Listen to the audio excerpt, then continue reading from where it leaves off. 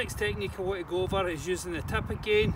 I showed you how to do the splitting where we get the branch like so, we lean it over the log and we stick it in and we do this. Here's another way of doing it.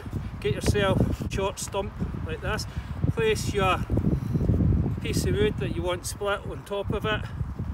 Tip into the centre. Get a slight bite.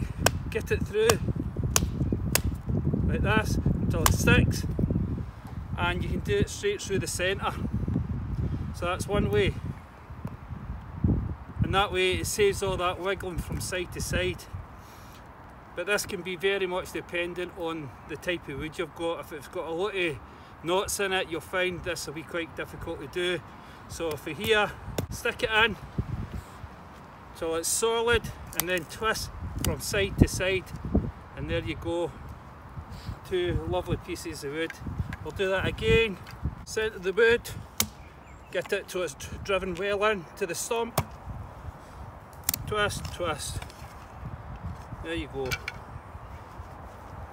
And that's just another way of using the tip on your tracker.